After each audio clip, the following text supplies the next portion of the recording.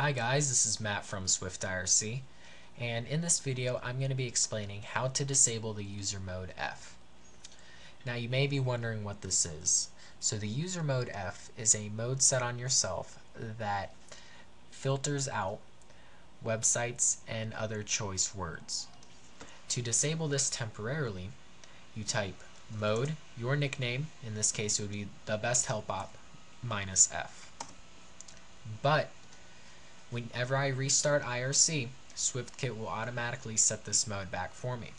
So to disable it permanently, go to the Start tab, Options, IRC tab, and uncheck the Enable Message Filtering box.